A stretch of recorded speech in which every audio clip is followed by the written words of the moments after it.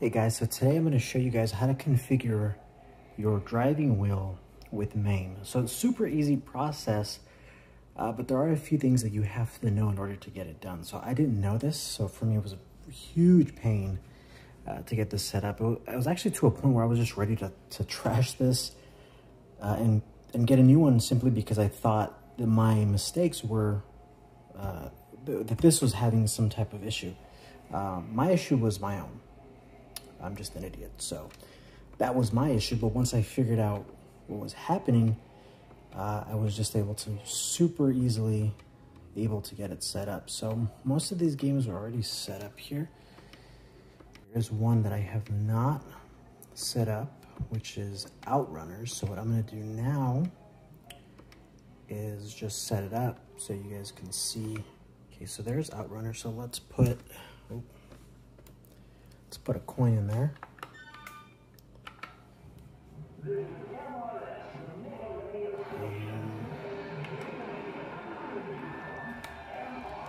This is a five speed. So as you can see, it, it doesn't work right. So, okay. So as you can see here, I'm pushing the gas. Nothing's happening. I'm able to change the music, um, but nothing's happening here. So I'm not able to do anything basically. So there's there's nothing going on, so it's not set up. So now let's set it up. So the first thing you'll need is your keyboard. So if you've never done this before, you will need a keyboard because that's the way that you get into the main settings. Typically, if you haven't changed it, if you haven't edited the settings, uh, it's just tab. So in this case, I've changed the settings. Actually, let me lower this. Okay. So in my case, I've already set specific hotkeys to go into uh, settings, which is a start and the triangle. So we're there. So we want to go to this controller, this game's controller, and here's everything. So I've already set these buttons up. So the paddle analog. So you want to press X and then just move the wheel right or left. And it says Joy 2 LSX. And then here's the one where it gets specific. So this is left. Actually, delete that and start over. This is also why you want to have a keyboard handy too, even if you've already set up uh, how to get into the main settings, because it's easy to delete. When you want to delete, let's say you messed up and you added a bunch of commands by accident, you just press delete and then it goes back to none. So here, actually deleted the wrong one too. Oh, actually, no, I didn't. So here you want to go left and then delete. Actually, there's a button back there. So I pressed it, so let's try it again. Okay, so there. Paddle one. So this is the accelerator. Okay, so now here's where we want to press the accelerator, but there is a trick to this one. So if we press X and we just press it once, it just says RT. So this won't work, unfortunately. We have to set it where it says RT minus. And the way we do that was just press X, press the gas again. So there's RT plus, still won't work. So we do it again, and now press it again. Now it's RT minus. So that's where it registers that when you press the gas or when you press that specific pedal, it presses the gas. Okay, and then we'll just delete that. We don't need that one. So same thing again for pedal number two, this which is the brake. Press it once, it goes to left trigger. Nope, we don't want that. Left trigger plus, we don't want that. Left trigger minus, that's the one that we want. So we can delete that. We don't need those.